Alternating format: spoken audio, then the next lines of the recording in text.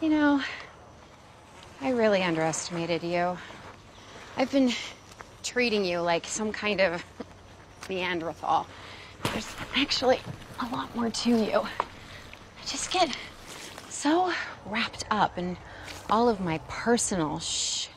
What are you doing?